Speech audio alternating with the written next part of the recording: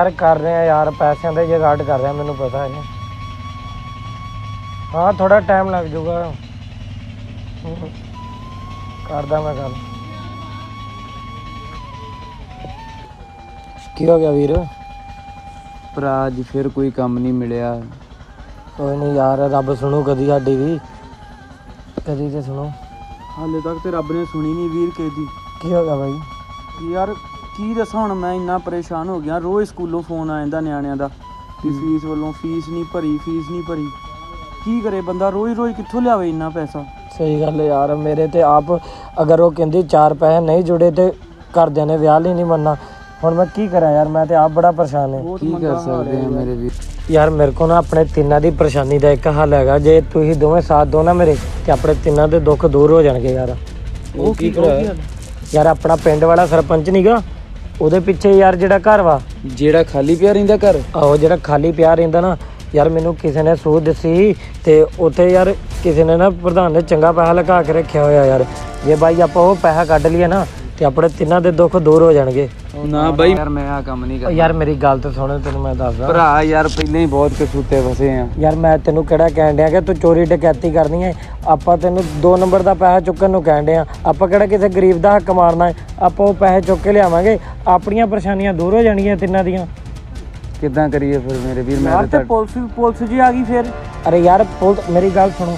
ਜਿੰਨਾ ਪੈਸਾ ਹੈ ਸਾਰਾ 2 ਨੰਬਰ ਦਾ ਪੈਸਾ ਵਾ। 2 ਨੰਬਰ ਦੇ ਪੈਸੇ ਤੇ ਕੋਈ ਜਾ ਕੇ ਰਿਪੋਰਟ ਨਹੀਂ ਲਿਖਾਉਂਦਾ ਹੁੰਦਾ ਥਾਣੇ ਤੇ ਨਾ ਹੁੰਦੀ ਜੇ ਕੋਈ ਕਾਰਵਾਈ। ਤੇ ਆਪਣੀ ਉਹ ਪੈਸੇ ਨਾਲ ਲਾਈਫ ਬਣ ਜਾਣੀ ਜੇ ਯਾਰ। ਵੇਖ ਲਓ ਯਾਰ ਫਿਰ ਜਿੱਦਾਂ ਤੁਸੀਂ ਕਹਿੰਦੇ ਜੇ। ਤੁਸੀਂ ਮਿਲੋ ਯਾਰ ਮੈਨੂੰ ਮੈਂ ਮੇਰੇ ਕੋਲ ਸਭ ਆਈਡੀਆ ਹੈਗੇ ਨੇ। ਮੈਂ ਤੁਹਾਨੂੰ ਦੱਸੂਗਾ ਆਪਾਂ ਜਾਣਾ ਆਪਾਂ ਚੁੱਕ ਲਿਆਉਣਾ ਬਸ ਪੈਸਾ ਜਿੰਨਾ ਵੀ ਆ ਉੱਥੇ। ਚਲੋ ਠੀਕ ਆ।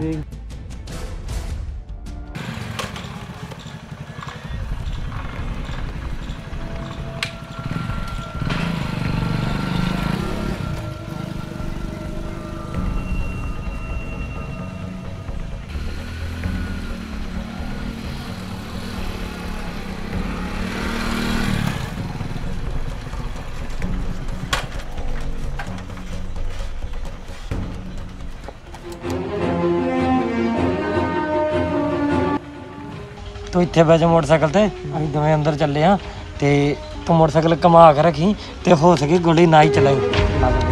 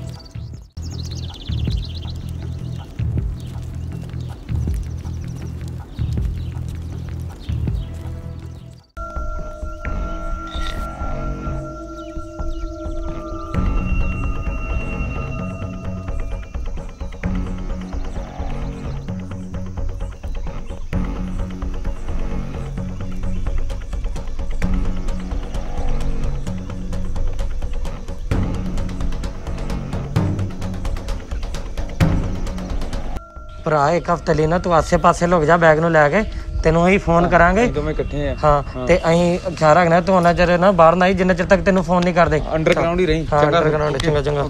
ਚੱਲ ਚੱਲ ਬਈ ਚੱਲ। ਨਾਲੇ ਗੱਲ ਸੁਣ।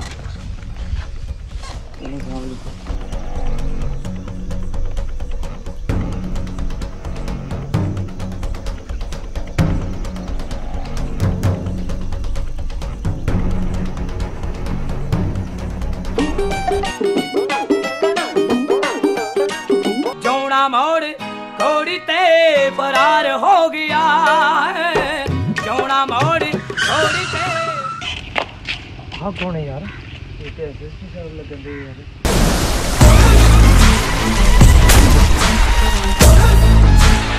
ਹਾਂ ਬਈ ਕਿੱਧਰੋਂ ਆਉਂਦੇ ਹੋ?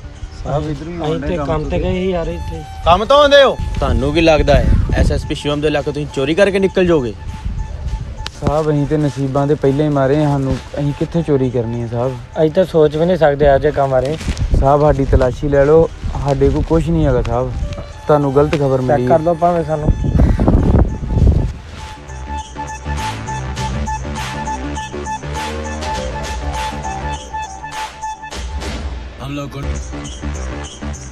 ਹਾਂ ਬਈ ਜੇ ਹੁਣ ਪਿਆਰ ਨਾਲ ਦੱਸ ਦੋਗੇ ਕਿ ਥਾਣੇ ਲੈ ਜਾ ਕੇ ਨੇ ਪੜੇ ਮਾਰਾਂਗਾ ਨਾ ਬਾਂਦਰ ਵਾਂਗੂ ਲਾਲ ਕਰ ਦੂੰਗਾ। ਸਾਹਿਬ ਇੱਕ ਮਿੰਟ ਇੱਕ ਮਿੰਟ। ਯਾਰ ਆਹ ਗੱਲ ਤੇ ਇਹਨੂੰ ਕਿੱਦਾਂ ਪਤਾ ਲੱਗੀ? ਯਾਰ ਇੰਨੀ ਛੇਤੀ? ਯਾਰ ਆਹ ਗੱਲ ਤੇ ਆਪਣੇ ਤਿੰਨਾਂ ਨੂੰ ਹੀ ਪਤਾ ਸੀ। ਤਿੰਨਾਂ ਨੂੰ? ਅੱਛਾ ਅੱਛਾ ਅੱਛਾ। ਸਾਹਿਬ ਇੱਕ ਗੱਲ ਸੁਣੋ ਤੁਹਾਨੂੰ ਪੈਸੇ ਚਾਹੀਦੇ ਆ ਨਾ? ਤੁਹਾਨੂੰ ਮੈਂ ਦੱਸਣਾ ਪੈਸੇ ਕਿੱਥੇ ਨੇ। ਕਿੱਥੇ ਹੈ ਮੈਂ ਦੱਸਣਾ ਜਿੱਥੇ ਅੱਜ ਸਭ ਸ਼ੁਰੂ ਹੋਇਆ ਸੀ ਨਾ ਤੁਸੀਂ ਚਲੋ ਮੇਰੇ ਨਾਲ ਮੈਂ ਤੁਹਾਨੂੰ ਦੱਸਦਾ ਆਜੋ ਚਲੋ ਤੁਸੀਂ ਪਹੁੰਚੋ ਆਪਣੇ ਟਿਕਾਣੇ ਤੇ ਮੈਂ ਤੁਹਾਡੇ ਮਗਰ ਮਗਰ ਆਇਆ।